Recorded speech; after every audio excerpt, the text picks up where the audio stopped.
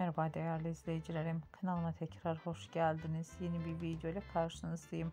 Bugünkü paylaşımlarım Hazal Subaşı'dan olacak.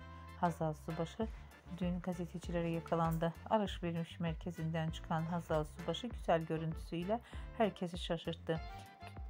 Hazal Subaş'tan güzel kareleri, yeni fotoları sizlere sunuyorum. Umarım beğenirsiniz. Hoşçakalın arkadaşlar.